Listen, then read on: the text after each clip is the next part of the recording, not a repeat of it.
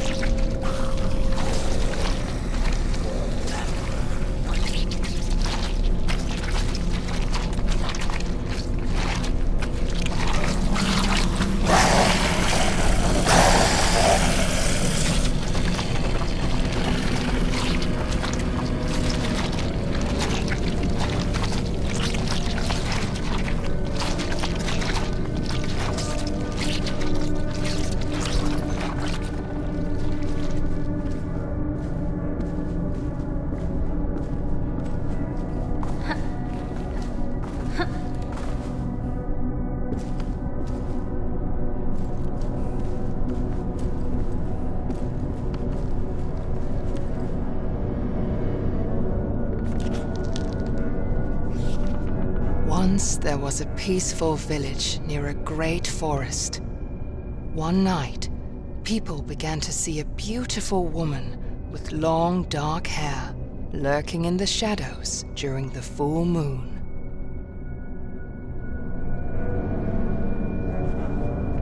Men started to follow her into the forest. Some of them never returned, and those who did had lost their minds. Eventually, the villagers had enough. They took all the dark-haired women of a certain age and put them on trial for witchcraft.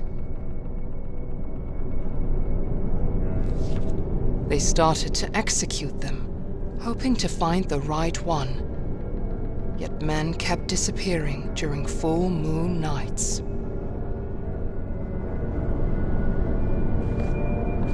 The villagers grew more and more desperate and burned down a large area of the forest in the hope of finding this strange, beautiful woman, but to no avail.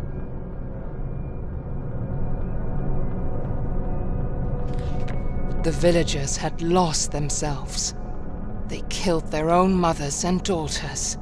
They burned down more of the forest that had served them with resources.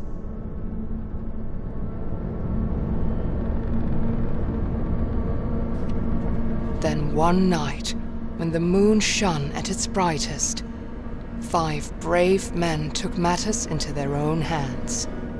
They put on their coats and walked into the burnt forest to hunt for the woman with the dark hair.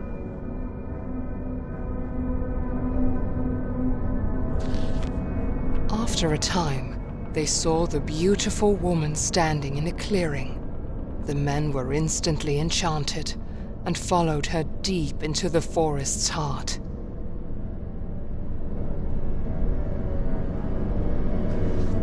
She was a shapeshifter that mimicked what men wanted to see in order to lure them away.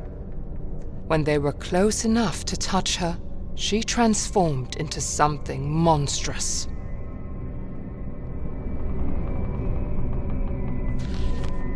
She ripped their chests open hung them up in the trees, and drew strange powers from their still beating hearts. And no one would ever see them again.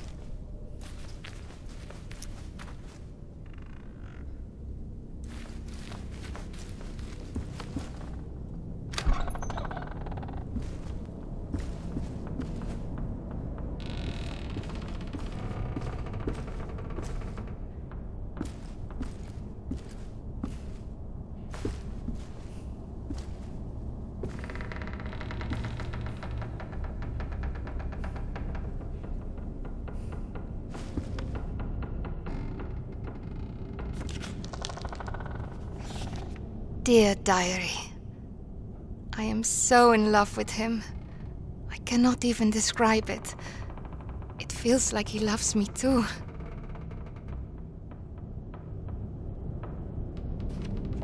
Our village still tries to heal its wounds from the dark days. But at least me and my love survived and have each other.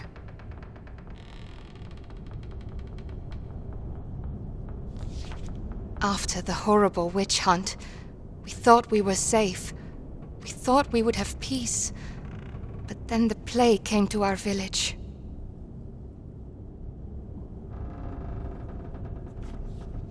Feels like the plague is some kind of punishment for our sins. Maybe we deserve this.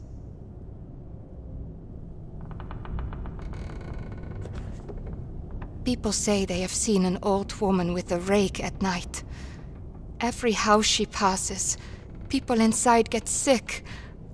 I hope she does not come to my house.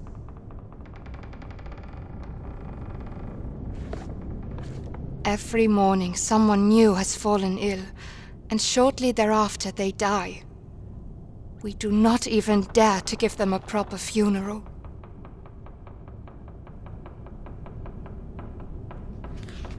It is horrible. The dead are rising from their graves, and they eat the ones left alive. I have locked myself in the house. I got separated from my love.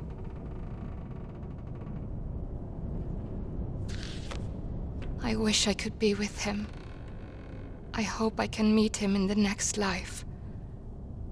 I'm out of food, and the dead are right outside my door. I miss him so much.